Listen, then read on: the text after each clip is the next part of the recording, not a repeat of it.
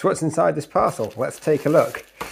It's probably going to be whiskey related, and absolutely it is. Let's take a look.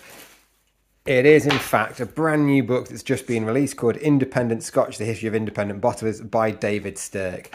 And oh, lovely little note from the author. Wouldn't have been very nice to have a dram? And here it is. It's the history of all the major independent bottlers. And I think by the looks of it, if we're getting through there, there's loads of other information and stories about the industry in here as well. So, brand new book. Can't wait to give it a read. Go and check it out if you love your whiskey.